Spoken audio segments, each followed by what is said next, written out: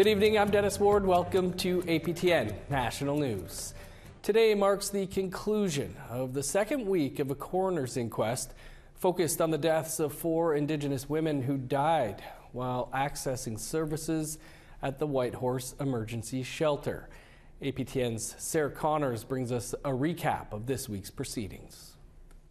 Much of this week's proceedings focused on the death of 52 year old Darla Skookum, a citizen of the Little Salmon Carmacks First Nation.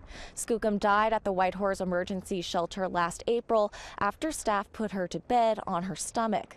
In video footage leading up to Skookum's death, she appeared to be unconscious or sleeping and unable to stand or walk on her own. Staff were shown helping place Skookum in a wheelchair and moving her to an overflow sleeping room. They testified Skookum appeared intoxicated but breathing and responsive, and it's common practice at the shelter for intoxicated people to be put to bed on their stomach. The footage shows Skookum laying on her stomach with her face in her pillow. None of the staff who helped Skookum to bed went back to check on her. Around 12 hours later, a staff member discovered Skookum's lifeless body. Footage shows bodily fluids had leaked onto her pillow and mattress, a normal occurrence when someone dies. Skookum displayed no signs of life and was pronounced dead at the scene by medical personnel. One staff member who helped put Darla Skookum to bed said he didn't notice her face was in her pillow. He also said that after reviewing video footage, he now thinks placing her on her stomach was not the best position to leave her in. Other staff said that while Skookum's death did not lead to any new training, they're now required to perform bed checks three times a night to make sure clients are breathing. The inquest continues next week in Whitehorse. Sarah Connors, APTN National News, Whitehorse. Thanks, Sarah. To Ottawa now, where the Standing Committee on the Status of Women continued their study on implementing a red dress alert system. On Thursday, the Minister of Crown Indigenous Relations appeared for questioning. A year ago, NDP MP Leah Gazan filed a motion for the establishment of a Canada wide emergency system. It's to help address the issue of missing or murdered Indigenous women and girls. During the committee, she took the opportunity to ask Minister Anandasangaree why only $1.3 million over three years for the alert was set aside in this year's federal budget. 47 million to find to deal with the auto theft problem and although I know that the auto theft problem is really tremendous in this country. The message is very clear that this country cares more about cars than it does Indigenous women, girls, 2S, LGBTQIA+. Plus. I'm wondering why there wasn't greater uh, dollars put in, specifically in the areas of prevention, uh, to deal with this. Uh, what has been acknowledged, in fact, by your government and your leader as an ongoing genocide the report of the um, of MMIWG calls for justice, uh, the 231, um, are quite large, quite vast, um, and there is a preventive component and there there is a supportive component. The preventative component goes to the core of the social determinants of health. So, our investments on housing, our continued investment on housing, and, and, and I recognize that, that, that there are still gaps. Um, I think it's critical. I think the issues around uh, emergency shelters, $27 million for emergency shelters and transitional homes, homes um, on reserve, I think is, is a critical uh, point here. Still in Ottawa, Bill C 29 is nearly at the finish line to being passed into law. It will create a national council to monitor progress on reconciliation. Senate amendments on Bill C 29 were up for debate in the House of Commons on Friday. The creation of such a council falls under TRC Call to Action number 53. The Assembly of First Nations, Metis National Council, Inuit Tapiriit Kanatami, and the Native Women's Association of Canada all have seats on the council under the current proposed legislation. But during debate, Conservative MP Jamie Schmale uh, asked why the Congress of Aboriginal Peoples has not been included. Specifically, the fact that the Congress of Aboriginal Peoples, despite representing um, uh, a, a, large number of Indigenous people uh, living off reserve, when you're talking about uh, those living off uh, uh, the First Nations, they represent status, non-status, Métis, and uh, yet they are left off the the, the founding table that then dictates the, the the, the the path going forward. A vote on C29 is expected later this month. If passed, it will then be sent to Governor General Mary Simon for royal assent. A controversial silica sand mine has been recently approved in Manitoba. Earlier this week, in part one, we told you about why some community members say it shouldn't go ahead. In part two now, reporter Sav Jones has more on what the mine's proponent and Hollowater leadership have to say. An approved silica sand mine in Hollowater First Nations traditional territory is still receiving pushback. The Alberta-based company Canadian Premium Sand, or CPS, is the proponent of the project.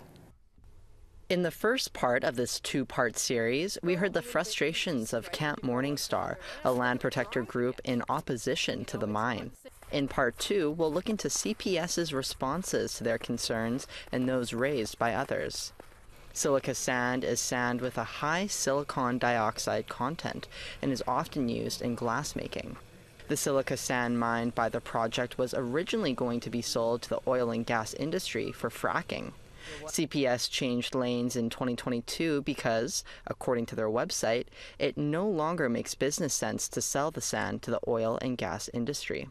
The sand is now intended to make solar glass panels in a manufacturing plant CPS has been approved to construct in Selkirk, Manitoba. The new plan sees the project considerably scaled back in scope and size compared to the original. CPS CEO and President Glenn Leroux says both projects are linked and construction at both sites will begin once financing is in place. He says they are optimistic financing will be complete this year. CPS has had at least one local community consultation back in 2019. Around 130 people attended. It was requested by the Manitoba Sustainable Development Branch to address public concerns. That year, CPS received around 180 pages of public comments, mostly in objection to the mine, along with concerns. They came from local cottagers, residents of surrounding communities, and environmental groups. Their concerns focused on noise levels, traffic and road conditions, water quality, and many worried about the environment as well as their own health. In 2022, CPS held a community information session unveiling the new project purpose of making solar glass panels. Only 35 people attended, and 8 provided feedback on their environmental concerns. Their feedback was shared in CPS's Notice of Alteration report the majority of people were concerned still with noise and air pollution, and then water quality, animals, and fish habitat. Trucks carrying the sand will leave the facility an average of 50 times a day, five to seven days a week, based on CPS estimates. But Hollowater First Nation leadership reaffirmed their full support for the project. In a letter to CPS, their chief and council stated, in part, We're proud to support this long term vision for our community, for Manitoba, and for Canada. We see a future where we all benefit. APTN reached out to Chief Larry Barker through email, phone, and in person, but was not able to reach him for an interview.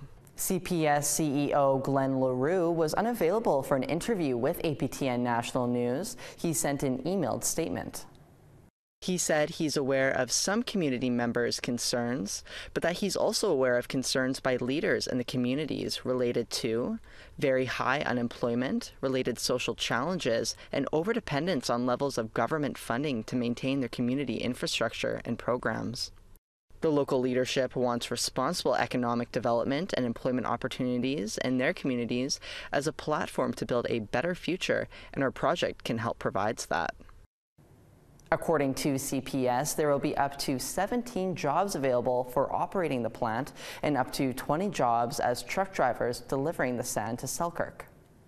The mine is slated to operate for 35 years. It and the manufacturing plant combined are estimated to generate $200 million in provincial taxes over a 10 year period. Sav Jonesa, APTN National News, Winnipeg. Thanks, Sav. There will be new faces in the coming weeks in some police detachments in a handful of First Nations in Manitoba, many of whom are Indigenous themselves. Here's a sneak peek. Tansit, T.R. Wheatley, Nitani Sagasuin. I am here outside the city of Portage La Prairie, Manitoba, where we are attending a graduation ceremony for 10 new constables for the Manitoba First Nations Police Service. What exactly does this mean for some reserves in the province? Uh, what's might make, make our course unique is we re-injected a lot of cultural pieces into and a lot of community connection exercises and that sort of thing. So, so that's very important for the type of service we provide. Find out next week on APTN National News.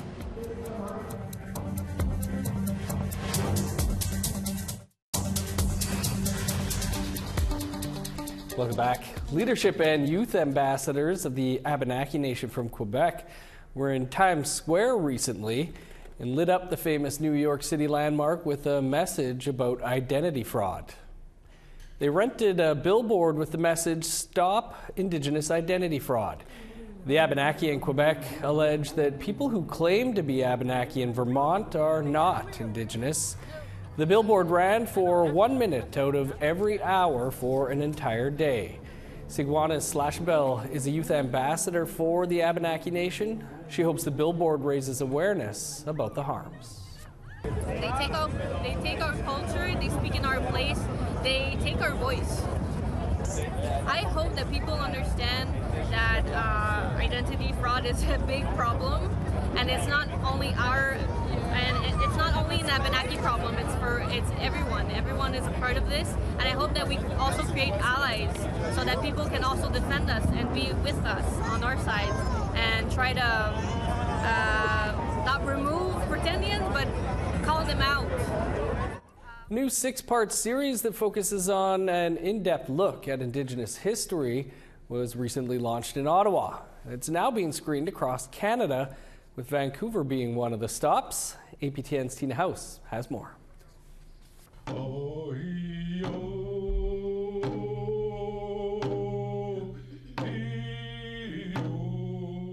Understanding Indigenous History A Path Forward is a compelling six part series that just screened in Vancouver. It features in depth interviews led by multi award winning journalist Lisa Laflamme as she interviews former Assembly First Nations National Chief Phil Fontaine, along with lawyer Kathleen Mahoney. It delves deep into the history of Canada's relationship with Indigenous people and providing insight into ways to move forward. Out of this emerged, of course, as we know, the story that we've been told for, for so long. Canada was actually, in the views of these people that write our, our history, is made up of two cultures, French and English and a complete absence of uh, anything to do with indigenous peoples. This feels like a good time to bring the lawyer in because it sounds a lot like theft, you know, coming in uh, hundreds of years ago and putting that cross down. Sure. Well, that was the symbolic, I guess, statement of the discovery principle, which was created by the Vatican by the popes who were supporting the first explorers, the Portuguese and Spanish in particular. Put a year on that, Kathleen. Well, it was in 14, I believe 1402, something around that time period. This project is important, not just for me, but it's a project about Canadians. It's about Canada. And uh, our people, the First Peoples, are an important an integral part of Canada.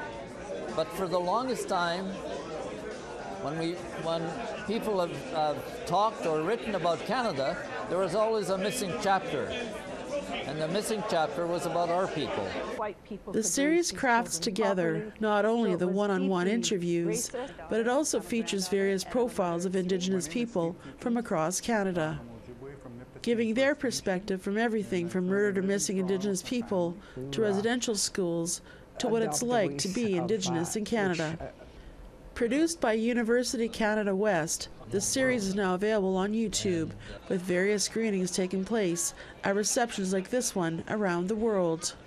it's an incredible piece of work, evokes a lot of emotions from from you know frustration, anger, sometimes embarrassment of, of how things have unfolded across across time and history and and this is our commitment as a university, as an education group, a step forward in doing our part to support truth and reconciliation. To sit across from Phil and Kathleen and really be able to ask any question starting, you know, 400 years ago and right up until today. I went through the education system in Canada in the 70s and 80s, and these were not things I learned in school about our own history. Tina House, APTN National News, Vancouver. To northern Manitoba now, where last week the town of Churchill lost their only waste storage facility to a major fire. The building was a former military warehouse and was being used to store the town's garbage in the winter. It also hosted Churchill's recycling program. Mayor Michael Spence said the cause of the fire was likely combustion. After the community closed its landfill in 2005, indoor waste storage was introduced to avoid attracting polar bears to the area. Manitoba Minister of Environment and Climate Change, Change Tracy Schmidt told APTN News that the province has sent on the ground support to Churchill. They're working with the municipal government to explore short and long term solutions. Over the past few years, the town has been exploring waste management alternatives to prevent polar bears from visiting the area. Mayor Spence says the town is eyeing an incineration model. With this type of model, you know, there's other northern communities up the coast from us that have similar problems in terms of handling waste. So, you know, we're ahead of the game in terms of looking and advancing to where we need to go.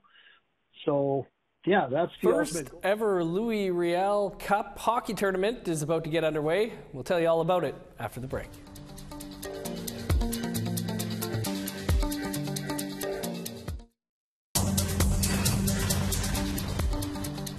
Welcome back. Time now for our photo of the day. Yesterday morning, just before sunrise, Lee Wilson snapped this photo of an eagle perched on some driftwood in Kitimat Village, British Columbia. Thanks for sharing, Lee. If you have a great photo, send it to share at aptn.ca for the chance to be our next photo of the day. Now let's take a look at your Saturday weather forecast. Starting on the East Coast, 9 with showers in Halifax, rain, and 8 in Fredericton. 2 with snow in Kuujjuaq, rain, and 6 for Nain. 11 in Montreal, snow, and plus 5 for Val-d'Or. Flurries and 4 in Sault Ste. Marie, 6 with snow in North Bay. 8 with uh, showers in Thunder Bay, 6 above in Sioux Lookout. Plus 3 with snow in God's Lake, 6 in Norway House. Sun's out and 10 above for Winnipeg and Dauphin. A sunny high of 9 in Regina and Yorkton. 13 in Meadow Lake. Sun's out and 10 for Buffalo Narrows. A sunny high of 14 for Peace River and Grande Prairie. 12 in Edmonton, a sunny high of 9 for Lethbridge. Showers and 15 for Vancouver, 18 with rain in Kamloops. Sunny and 14 for Prince George, 12 in Dease Lake. Plus 4 in Old Crow, 13 above in Whitehorse. Sunny and 5 for Yellowknife, 9 in Wrigley. Minus 5 in Sachs Harbor, plus 2 for Paulatuk. Minus 19 for Chesterfield and Whale Cove. 20 below in Resolute and Gjoa Haven. First ever Louis Riel Cup hockey tournament is taking place in Saskatoon this weekend. Métis Nation Saskatchewan's hosting the tournament for players of all ethnicities in the spirit of reconciliation. 12 men's teams and seven women's teams are competing at the Rod Ham and Harold Latrace arenas. Each team must have a minimum of two First Nations players, two Métis players, and two non-Indigenous players. The puck drops for the first games tonight with the finals wrapping up Sunday. Rich Pilon is Métis from Saskatoon. He spent 18 years with the New York Islanders, the Rangers, and St. Louis Blues. He's the MNS ambassador for reconciliation. We want to bring all cultures together. We want to be positive. We want to be, have a great, a great weekend of fun hockey that everybody gets to enjoy. Not only will the winning men's and women's team be the first to win the Louis Riel Cup, but they will skate away with a $30,000 cash prize each. The University of Alberta launched a new online magazine on Wednesday that will open doors to Indigenous writers and editors. Yarrowmag.com wants to give established and up and coming artists a place to publish that has an Indigenous focus. APTN's Chris Stewart has that story. Jordan Abel is the co creator and editor of the newly launched Yarrow magazine. Abel is an award winning and published author with over a dozen books. He says his experience with publishers led him to create a place to publish poems, short stories, book reviews, and interviews, with the content being 100% Indigenous. Lots of the folks that, that work in editing and publishing are non Indigenous. Uh, so when I went to publish my own works, I would often be paired up with non-Indigenous editors. Uh, and I, I, think Indigenous peoples really need to be able to tell their own stories. Uh, we need uh, we need sovereignty around our narratives. So the associate professor of English and Film Studies at the U of A helped create Yarrow magazine is you know a magazine that is meant to celebrate indigenous creativity uh, and the creative writing we publish is exclusively indigenous writing and the reviews and the uh, the interviews are open to non non-indigenous contributors who want to help lift up indigenous writing. The first issue has a short story from writer and lawyer Chelsea Vowel on her experience in Europe. Poet and author Molly Cross Blanchard tells a story of a bus trip with a twist. There are book reviews, more stories, and Jordan Abel interviews photographer and poet Tenille Campbell. The writing that we publish is, is meant to be the, the best of emerging and established Indigenous authorship. Uh, many of the authors that we've published have won numerous awards and are operating at the at the highest level that that you can in in the literary sphere. Uh, but we're also very open to emerging Indigenous writers who who need to to get a foothold somewhere. You can read the first issue at yarrowmag.com. Chris Stewart, APTN National News, Edmonton. Good stuff. Thanks for that, Chris. That's all the time we have for your APTN national news for this Friday. For news anytime, you can visit our website, aptnnews.ca, or head on over and subscribe to our APTN News YouTube channel. I'm Dennis Ward. Marcy McGuich, thanks for being with us. Stick around. APTN Investigates is just seconds away with the new episode Inside the Band Office Stonewalled. It's going to be a good one. Have a great night.